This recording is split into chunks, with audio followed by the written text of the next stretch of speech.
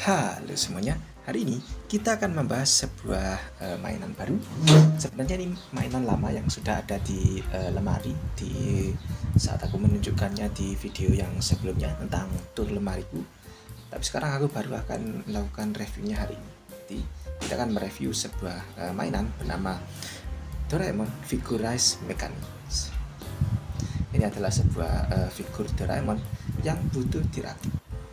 Dan itu saja uh, berbeda dengan mainan Doraemon yang seperti biasanya, mainan ini sangat istimewa. Nah, sekarang kita akan melihat bagaimana seperti apa Doraemon ketika sudah dirakit. Ini adalah Doraemon yang sudah dirakit. Dan seperti inilah hasil jadi Doraemon uh, ketika selesai dirakit. Seperti yang kalian lihat, eh, detail-detail uh, yang diberikan pada Doraemon ini sangatlah bagus di sini juga ada uh, apa namanya kantong ajaib empat dimensinya terus ada lonceng ada mulut mata dan tangan dan lain-lain. Ya ya standar Doraemon seperti biasanya. Nah sesuatu yang menarik dari figur ini yaitu uh, tidak seperti rakitan-rakitan uh, bandai lainnya yang kadang-kadang ada stiker dan lain-lain. Doraemon ini tidak membutuhkan stiker sama sekali tidak ada stiker yang digunakan untuk menghiasi uh, agar Doraemon ini terlihat lebih hidup. Seperti contohnya uh, ini bagian kumis ini ini adalah uh, bagian dari uh, bagian dari inner frame-nya. Jadi ini ada inner frame-nya dan ini nggak nggak perlu diberi panel lining atau di di apa diwarnai. Jadi ini sudah ada sendiri sama dengan matanya juga uh, terus lidahnya dan semuanya ini sudah precolor semua. Sekarang kita akan membahas tentang artikulasi Doraemon ini. Nah, di Doraemon ini kita bisa melakukan artikulasi sederhana. Karena ya karena Doraemon ini hanya seperti ini saja, jadi uh, tidak ada artikulasi yang lumayan-lumayan bagus. Jadi memang benar-benar sederhana ini kepalanya bisa diputar 360 derajat. Tangannya juga 360 derajat. Yang di sini juga 360 derajat. Semua bisa diatur seperti itu saja. Terus ada kotak empat dimensinya yang bisa terbuka sedikit seperti ini. Lalu ada artikulasi tentang kakinya. Dan hanya artikulasinya ya hanya seperti ini saja. Dan artikulasi ini sebenarnya ya tidak berguna jadi emang emang lebih dipergunakan seperti ini saja nah berhubung karena artikulasinya ini sendiri sangat terbatas maka biasa maka uh, di figur ini disediakan sebuah sebuah uh, bagian tertentu untuk untuk bagian-bagian yang sebenarnya sangat sulit untuk diartikulasi.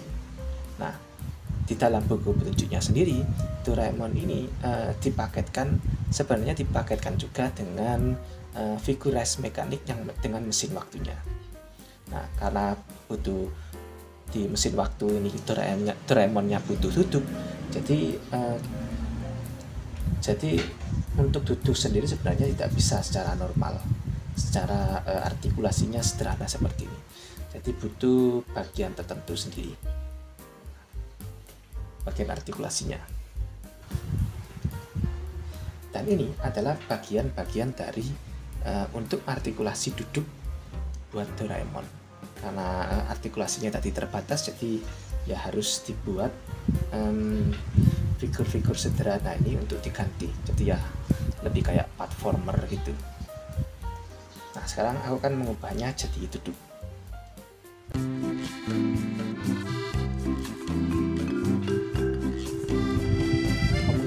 lebih melakukan untuk dicopot dulu. Kepalanya agar lebih mudah.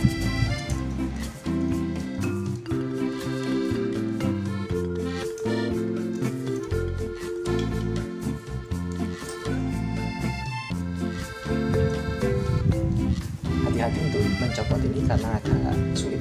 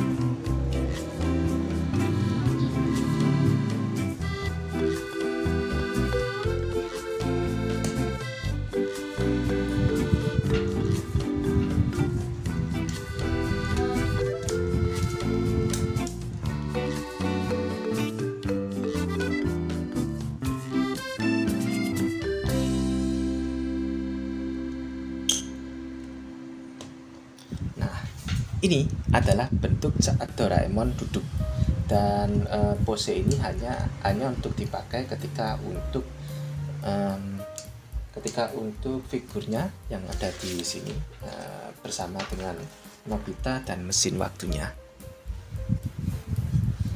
Nah, jadi cuma dalam posisi ini saja uh, dibutuhkan bagian-bagian uh, lain ya seperti part part forming begitu sih. Karena artikulasinya terbatas itu tadi. Nah, selain itu ada sebuah fitur yang menarik dari Doraemon ini sendiri. Nah, di Doraemon ini ada sebuah inner frame. Inner frame yang bisa kalian lihat di um, ketika kalau kalian merakit Gundam seperti MG atau RG gitu kan biasanya ada inner frame-nya. Nah, di Doraemon ini sendiri ada inner frame-nya juga seperti Gundam. Nah, seperti apa inner frame-nya? Nah, kita akan melihatnya. Sekarang kita akan membongkar lagi.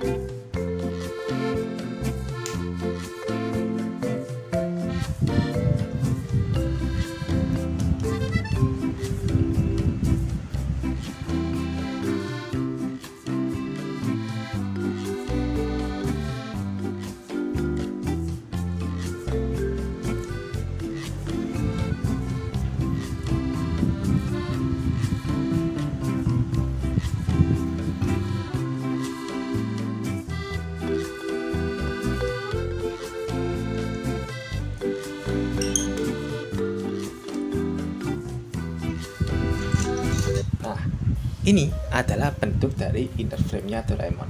Dan ini benar-benar kalau dilihat secara sederhana seperti ini, terlihat seperti agak mengerikan sih sebenarnya.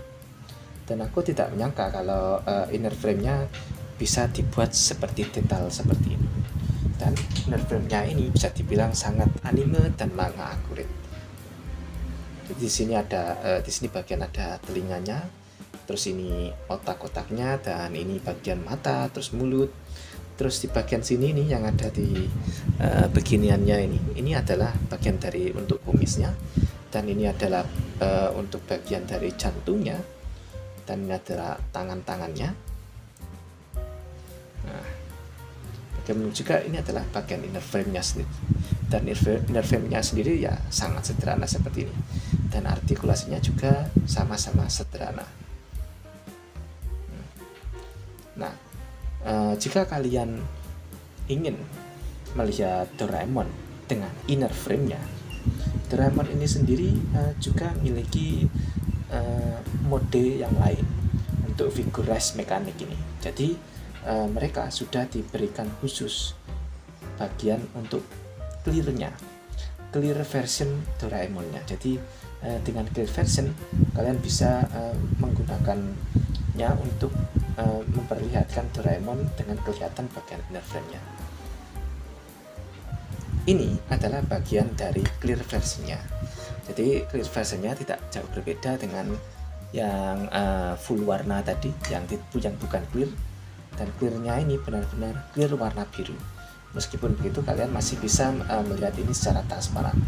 Nah, sekarang mari kita gabungkan ini ke dalam Doraemonnya Tentu saja seperti biasa kalian harus mencopot kepalanya agar lebih mudah untuk dalam pemasangannya.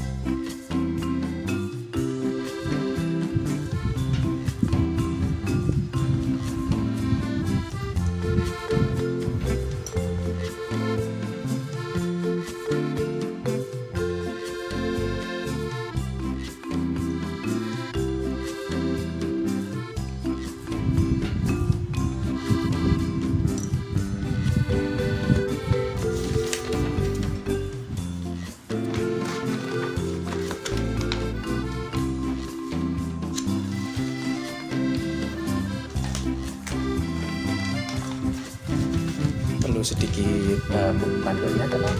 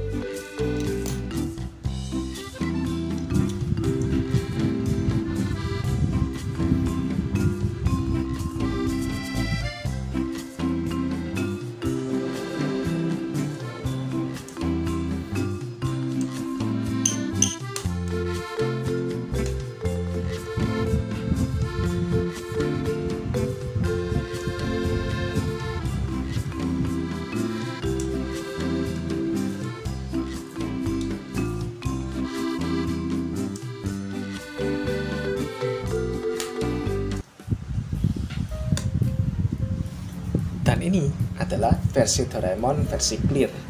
Dan di versi clear ini kalian bisa melihat bagian interiornya.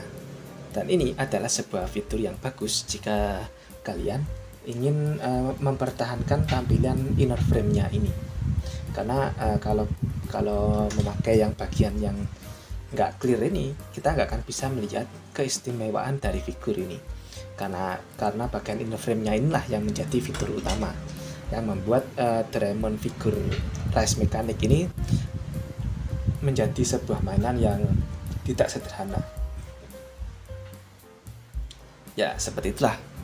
Uh, dan kalian bisa melihat ini Doraemonnya. Dan kalau bisa bilang ini benar-benar solid sih.